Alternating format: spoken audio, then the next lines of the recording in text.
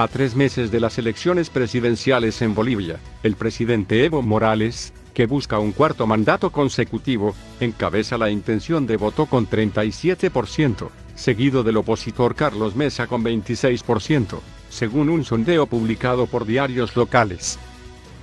La encuestadora Mori señaló que Morales, en el poder desde 2006, recoge el 37% del apoyo electoral, principalmente en el área rural y ciudades intermedias, en tanto Mesa con el 26% se hace fuerte en el área urbana.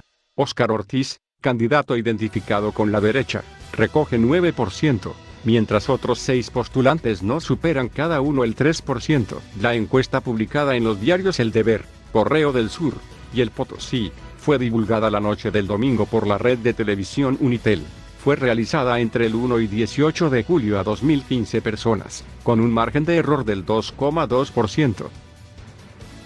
Los votos nulos y blancos suman 12%, mientras que 6% dijo que no sabe, 2% que es secreto, y 1% que no responde.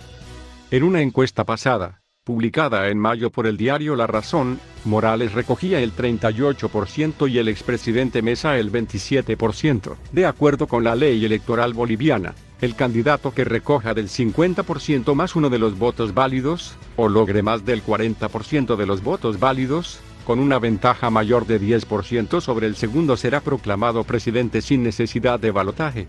Si no se da ninguna de estas figuras la segunda vuelta está programada para el 15 de diciembre.